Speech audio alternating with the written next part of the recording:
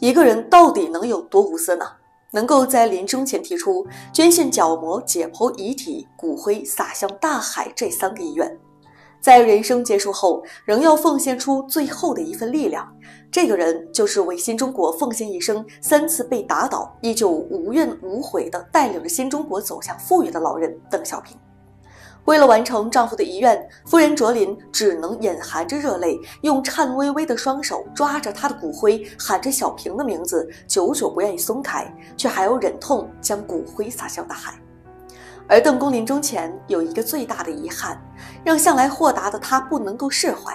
本期节目，咱们就来好好讲一讲邓公最大的遗憾到底是什么。我是我自己是争取活到九七年。就是啊我是从到九七年，就是要中国收回香港之后，到香港自己的土地上走看一下。遗憾的是，他如愿活到了一九九七年，却没有看到香港回归的那一天。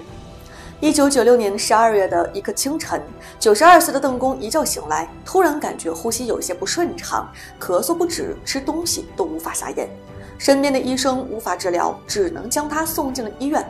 夫人卓琳每每回想起这一天的时候，都叹息地说道：“没有想到啊，他这一走就再也没有回来了。”一年二月，医生下了病危通知，全体政治局常委都被要求不要出京，留在家中待命。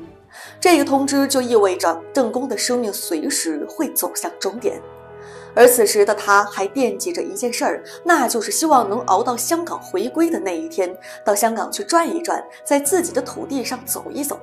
即便这个老人已经让病痛折磨得如此艰难了，国外的媒体也没打算放过他。自从1994年的春节之后，邓公已经很少公开露面了，就不断有居心叵测的人造谣，光是病危就少说有一百多次了。但是这一次却是真的。二月十九号，老人的呼吸衰竭，只能靠着呼吸机来喘气。卓琳带着全家人来跟他告别，并写信给了江主席，将邓公对身后事的三个要求告诉他：一是不要搞遗体告别，不设灵堂；二是解剖遗体，留下眼角膜供医学研究；三是把骨灰撒入大海。二十一点零八分，邓公停止了心跳。那一天的北京晴空万里，皓月当空。处理后事的时候，秘书将他的衣物都投进了炉膛，却发现老人的内衣都是带窟窿的。想到他孑然一身，什么都没有留下，临终前还穿着带破洞的衣服，再也控制不住情绪，泪流不止。夫人哲琳陪伴他走过了最艰难的岁月，深知邓公的遗憾。为了了却他的心愿，哲琳代表邓公去了香港，亲眼见证了香港回归的这一历史性的时刻。他的出现也成为了香港回归仪式上的经典镜头，寄托了人民对邓小平的无限追忆和哀思。